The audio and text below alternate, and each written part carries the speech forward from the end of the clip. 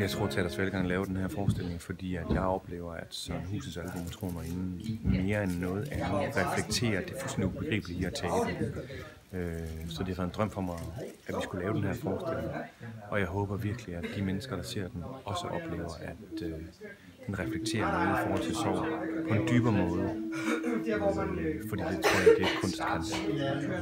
Spejlet, der hænger over kommoden, hvor vi laver sjove ansigter til hinanden.